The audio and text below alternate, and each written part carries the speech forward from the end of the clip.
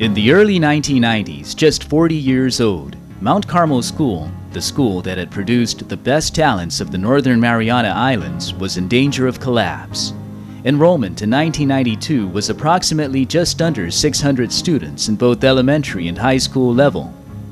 The same year, having watched the school slowly suffer and students' education seeming to falter as well, Bishop Camacho invited the Religious Sisters of Mercy from Guam to serve as a school consultant to the Diocese of Chalan Kanoa.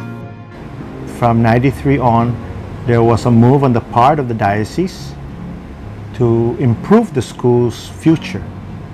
Uh, it was actually considered whether to shut down the school if the school was no longer uh, uh, uh fulfilling the Catholic mission. And if we're going to fulfill the Catholic mission, then we should take our, our role seriously. And I guess that's when the bishop turned to the Mercy Sisters and invited Sister Angela Parrish to come to Saipan and take over the school. And she did. She really uh, came in and uh, implemented a lot of things that the Mount Carmel School needed. Uh, the quality of the teachers, the standards of the teachers uh, improved. The, the behavior of students towards school, I believe at one point in time, when the when Sister Angela would interview the students or the parents, was do you, does your son or daughter want to be here? And if they don't want to be here, they were told, okay, we do not, we will not welcome them because it was, uh, it was, it defeated the purpose of coming to a Catholic school. So there were a lot of those things that were happening, you know, all of a sudden. Uh, uh, uh so uh, from, and I guess then the rest of the community realized that, yeah, Mount Carmel School is a, is, is, is again uh, back to what it was, and even better. The following year, 1993, Sister Angela of the Religious Sisters of Mercy brought her years of educational expertise and strong determination to Mount Carmel School. Under her leadership, she started the school into what seemed to be a renaissance period for Mount Carmel, where Catholic values were taken into as much consideration as the curriculum of the school. Sister Angela also worked tirelessly to pull the school into accreditation. By the summer of 1995, Mount Carmel School took a leap into the 21st century of school management it incorporated into a true business. It took on a new board of directors. It was able to receive tax exempt and nonprofit status, and it switched into an innovative president principal model.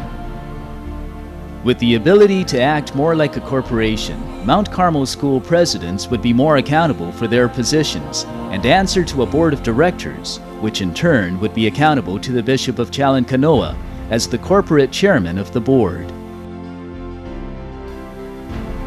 With this new model of management for Mount Carmel School, Bishop Camacho and Sister Angela, together with the new board, turned the school back into the original intent of Father Arnold and the Mercedarian missionaries of Berriz. Sister Angela was a very professional person. Uh,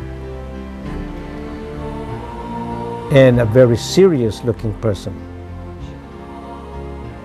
And uh, very uh, articulate in uh, uh running of a school. Because he had been a principal in Guam for a number of years. And she uh, uh, she was involved in accreditation